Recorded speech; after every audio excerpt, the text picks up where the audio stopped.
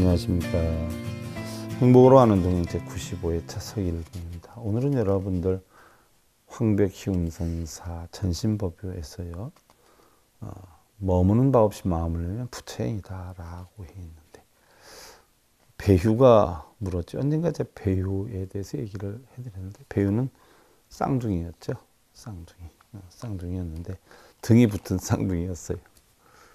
근데 나중에 부모가 참 없이 살았는데 음, 등을 자르게 되죠. 하나를 어차피 희생시켜야 되겠다. 둘 다 살긴 살았는데 배우는 삼촌 집에서 자랐고요.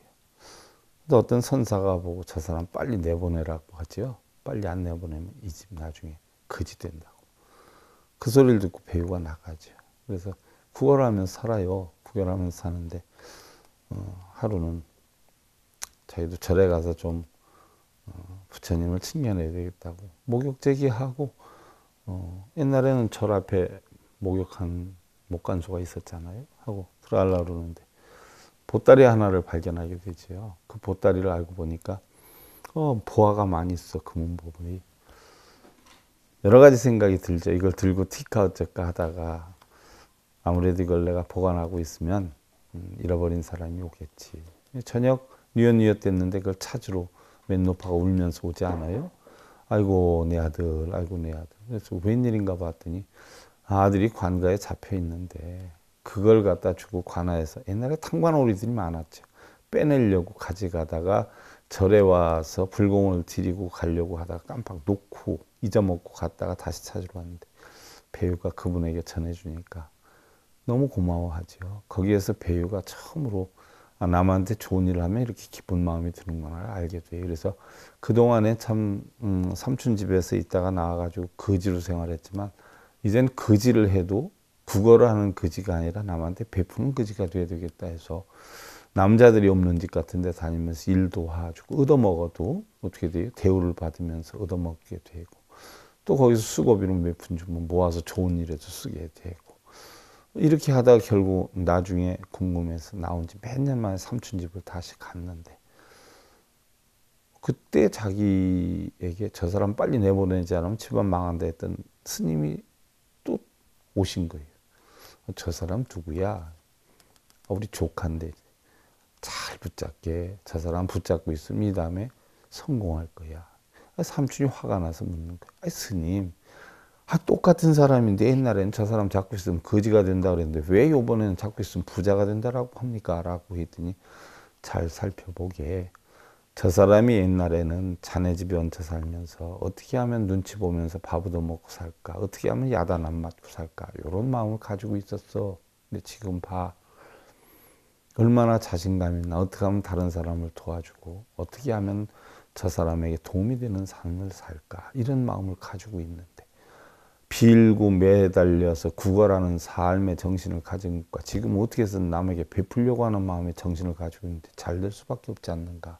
아이나 달라의 그 배우가 당상관이 됐죠. 당상관. 당상관 말하면 지금 우리나라의 국무총리예요. 실지 인물이죠. 어. 이 배우가 바로 황벽희운의 전신법에 참 많이 나옵니다. 이 상황인데요. 배우가 물어요. 어떤 것이 세간에 있습니까? 그러자 황백이 언어나 문자 영면 이칠로나여 무엇한가? 본래 정정한 것인데 어찌 언서를 빌려서 문답을 하겠는가? 다만 일체 마음이 없기만 하면 번뇌 없는 지혜라 부르는 것이니 그대가 모든 언행에 있어서 하염 있는 유의법에 집착하지만 않는다면 하염 있는 유의법 내 생각으로 만들어내는 법이어요. 생각으로 만들어내는 법 여기에만 집착하지 않는다면 말하고 눈 깜짝이는 것 모두가 다 번뇌 없는 지혜와 같은 것일세. 지금 말법의 시대에 접어들면서 참선의 도를 배우는 대부분의 사람들이 온갖 소리와 빛깔에 집착하고 있으니 좋다 나쁘다 뭐 이런 거 이래서 어찌 자기 마음을 여의었다고 할 수 있을 것인가 그죠? 이런 마음을 어떻게 여의었다 본성을 드러낼 수 있다라고 할 것인가. 마음이 허공 같고 마른 나무와 돌덩이처럼 되어가고 그렇죠. 마음이 다 본성을 못 깨치고 돌덩이처럼 돼가. 또한 타고남은 재나 꺼진 불처럼 되어야 도에 상응할 분이 조금 있는 것인데 만약 이와 같지 못한다면 뒷날 모두 염라대왕에게 가서만 문책을 받을 때가 올 것이야. 만일 그대가 있다 없다는 모든 법을 여기만 한다면 마음이 마치 허공에 떠 있는 햇살과도 같아서 태양이 비추지 않아도 자연이 두루 비추는 것이니 이 어찌 힘쓰지 않아도 되는 일이 아니겠는가. 이런 때 이르러서는 쉬어 머물 바가 없어 모든 부처님이 행하시는 행을 하게 되고 머문 바 없이 그 마음을 내는 것이 되나니 이것이 바로 자신의 청정한 법신이고 무상 정등 정각이 되는 것이야. 그러나 만약 이 뜻을 알지 못한다면 많은 지식을 배웠고 부지런히 고행수도 하고 프로스 읽고 나무 열매를 먹는다 하더라도 결국 자기의 마음을 모르는 것이니 이것은 전부 삿된 수행인 것이요. 정작 천마 욕심의 마왕이죠. 천마의 권속이 되는 것이니 이런 수행이라면 과연 무슨 이익이 있겠냐. 뭘 해달라고 빌고 차지하게 해달라고 빌고 소원 빌고 이거 다 뭐예요 마구니의 권속이란 이야기 이게 무슨 수행이냐는 이야기죠 지공 스님이 말씀하신 지공이 418년에서 514년까지 사시는 분인데요 부처란 본래 자기 마음으로 짓는 것인데 제가 지공 스님 굉장히 존경하는 분 중에 한 분이거든요. 뭐 이스님 대해서 얘기하려면 또 굉장히 길어. 제가 이분 책을 한 다섯 권 읽었는데 어찌 문자로 인해 구해지겠는가. 설령 그렇게 해서 삼현, 사과, 십지, 만심의 지위를 얻는다 해도 사면은 어, 대승에서는 보살 수행 지위, 십주, 십행, 십회양을 얘기하고요. 소승에서는 오정심관, 별상념주, 총상념주의 성자를 얘기하고 사과다는 것은 뭐 여러분 다 알죠. 수다운 사다, 아남, 아라한과 십지다는 것은 보살 수행 어, 지위, 화엄경 52개 중 40일에서 52가 십지죠. 그 역시 범부와 성인의 태도를 벗어나지 못한 것이라 했는 그대는 보지 못하였는가?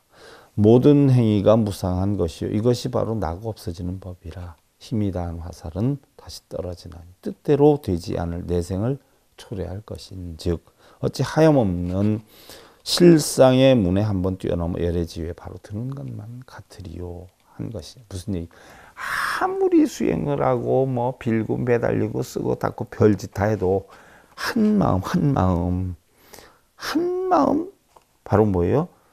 공안이 있지만 아니면 그대로 다 뛰어넘는다는 이야기죠. 그러나 그대는 아직 이 정도의 근기가 아니므로 옛사람이 세우신 방편문에서 아르마리를 널리 배워야 할 것이니라. 지공이 말하기를 세간을 뛰어넘은 명철한 스승을 만나지 못하면 대승의 법약을 잘못 먹는 것이다. 음, 어, 위장약 먹는다고 먹었는데 뭐 설사약을 먹어 설사를 하는 게요. 불법을 바르게 못 배워서 다들 그러는 거죠. 음.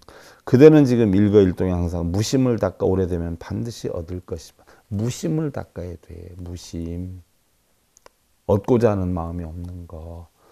아직은 역량이 부족하니 단박에 뛰어넘지는 못할 것이니라. 다만 3년이나 5년, 즉 10년이 지나면 반드시 들어갈 곳을 얻어서 자연의 그 이치를 할 수도 있겠지만, 그대는 이러한 텅 빈 공에 지라는 수행을 할 생각은 하지 않고 굳이 선을 배우고 도를 배우는 것이 불법과 무슨 상관이 있는가라고 할 수도 있겠지만 경에서 이르시기를 열애설법 모든 사람을 교하기 위한 것인데 그것은 마치 누런 나뭇잎을 돈이라 하면서 어린이의 울음을 그치게 하는 것과 같다고 하셨으니 부처님법 보면은요 이런 것들이 너무 많다는 거예요. 전부 방편으로 한 건데 그걸 막상 하면 깨달음으로 알고 있으면 얼마나 어리석냐는 이야기죠. 법이란 결코 실당 무엇이 있는 것이 아니다. 그러나 만약이라도 무엇인가 우리가 얻을 것이 있다라고 한다면 그 사람은 불자도 아니고 얻을 것이 있다면 불자가 아니란 얘기예요. 여러분 맨날 얻으러 다니잖아. 우리 종문의 사람도 아닐 뿐 아니라 그대의 본문과 아무런 상관이 없는 것이니라. 그래서 경에 말씀하시기를 실로 얻을 만한 조그만 법도 없는 것을 무상정각이라 부른다라고 하였나니 만약 이 뜻을 알아낸다면 부처님의 도와 마구니의 도가 모두 잘못되었음을 알게 될 것이니라. 본래 깨끗하고 하니 밝아 모남도 둥근 것도 생도사도 없고 크고 작음도 길고 짧은 것도 없고 번뇌도 자귀도 없고 미혹됨도 깨달음도 없다는 것이니 그러므로 말하기를 요연히 사무처보 한 물건도 없나니 중생도 없고 부처도 같도다. 항아사 대천세계는 바다의 물거품이요 모든 성현들은 스치는 번개불과 같도다. 이런 것인데 모든 것이 진실한 마음만 하지 못하다 하는 것이니라. 법신은 예로부터 지금까지 부처님이나 조사와 더불어서 마찬가지여서 어디 털끝만큼이라도 모자람이겠는가? 이러한 내 말의 뜻을 알아들었다면 열심히 노력해야 할 것이나 이 생을 마칠 쯤엔 내쉬는 숨이 들이쉬는 숨을 보장하지 못하느니라. 바른 불법, 바른 진리 탐구하시길 기원드리면서 행복으로 가는 동행제 95회차 서길봉이었습니다. 감사드립니다. 선물하십시오.